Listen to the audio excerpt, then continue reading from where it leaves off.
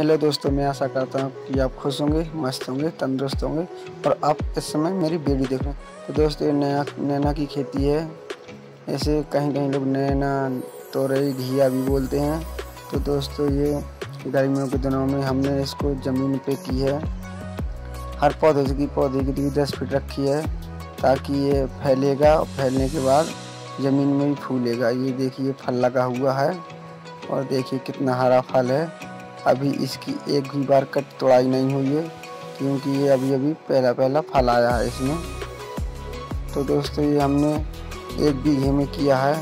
ये इसमें थोड़ा खाद का ध्यान देना पड़ता है। खाद पानी का, गर्मियों में थोड़ा ज़्यादा पानी लगता है।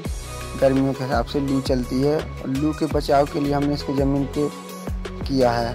शायद हम इसको तार और रस्सी से टांग करके करते तो उसमें लू का प्रभाव बहुत ज़्यादा पड़ता और इसमें दाग लगने का डर लगता है काला काला हो जाता है तो इसकी मार्केटिंग वैल्यू भी कम हो जाती है। और इसको ज़मीन पर रखने से इसमें लू का प्रभाव नहीं पड़ता है और बहुत ज़्यादा फरता भी है।